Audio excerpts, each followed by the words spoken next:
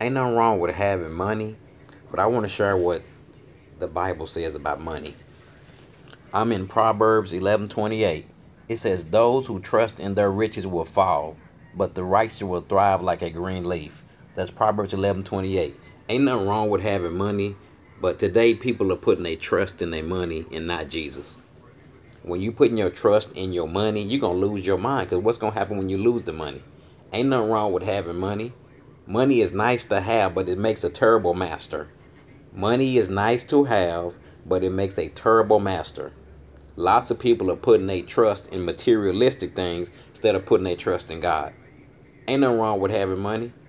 It's cool. The Bible says you can't serve two masters. You'll love one and hate the other.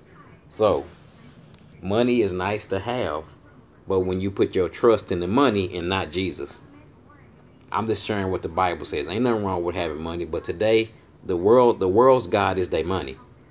The everybody's serving somebody. Everybody's serving somebody, and they're not serving Jesus. They're serving their money. And when they lose their money, they're gonna lose their mind because that money is their God. They putting their trust in their money and not in Jesus. Ain't nothing wrong with having money. The Bible says it's the love of the money, the love of it. Ain't nothing wrong with having it. But when you put your trust in it, Jesus Christ said you're gonna fall. Ain't nothing wrong with having it. Bye bye. God bless you.